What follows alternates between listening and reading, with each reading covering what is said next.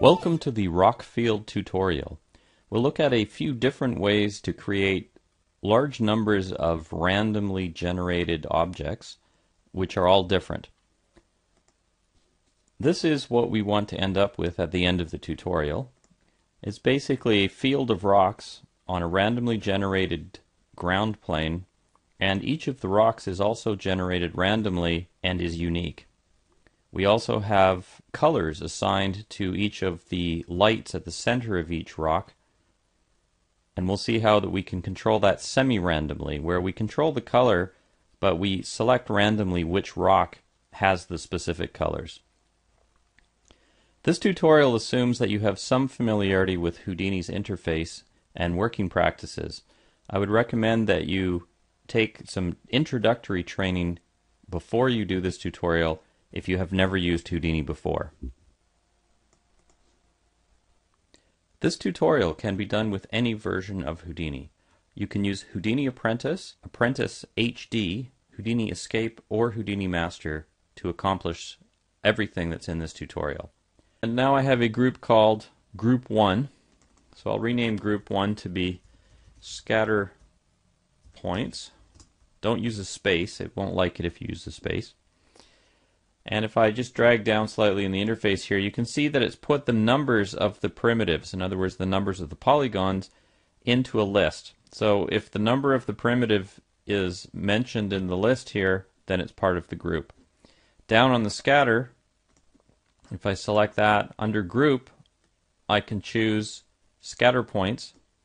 And now it's only scattering points onto the primitives that I grouped. If I turn on the template for the group, I don't see the group selected there, but I can see where I drew that. And if I turn up the number of scattered points just temporarily to 10,000, you can really see where I selected the polygons and where the group has been scattered. Type S to select some geometry. Right click and make sure I'm selecting primitives or use the hotkey 4. And then I'll just draw out some primitives there. And if I right click and go to spreadsheet now, it may still be in, in show points mode. These icons at the top here will let you see the different types of attributes. So on the output of our fractal, I'm going to right click and bring in a primitive SOP.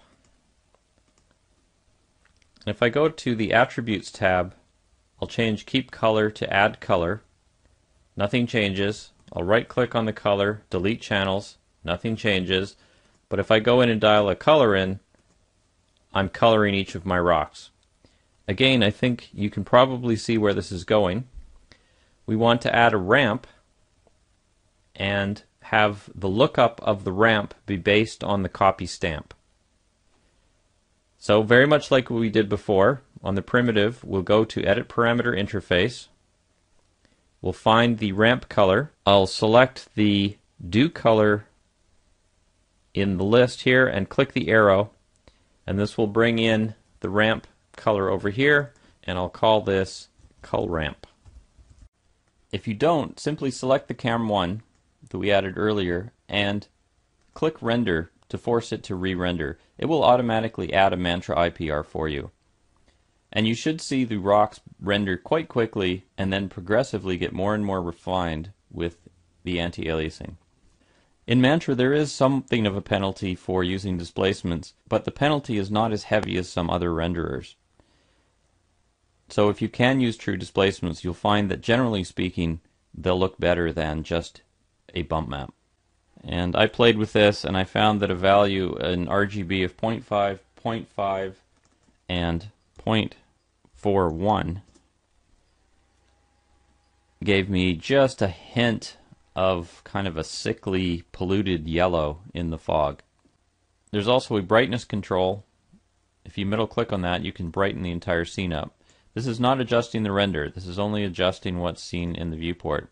And you just click on the little icon next to it to reset it back to its default. On the far right is an adapt to full pixel range button. And what this will do is analyze the render and then adjust the controls to make sure everything fits between 0 and 1. So if I click on this, notice that it had to increase the brightness to make the brightest pixel hit 1. That means that I can probably go higher in my light intensity without it hitting a value of 1. Mantra always renders a high dynamic range image. You never have to worry about going above 1 as long as you save it to a file format like EXR or Houdini's PIC format that support floating point HDR images. It's not a big deal if you render something that's higher than 1. And part of the sphere is hidden by the displaced rock and part of it is exposed. So instead of having the entire rock glow, I have sections of the rock glowing. In my opinion, this is a lot more interesting visually. We can take a look at some of the other areas here, and you can see that the rocks have glowing bits inside themselves that are casting light out of them. So I personally find this a more visually interesting result where instead of the entire rock glowing, it's almost like there's part of the rock that's exposed has a glow to it that's lighting up the environment around it.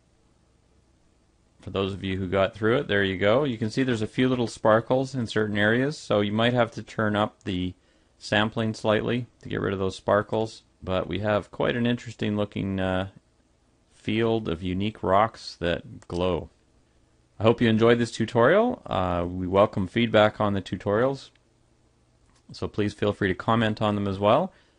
Thanks for watching.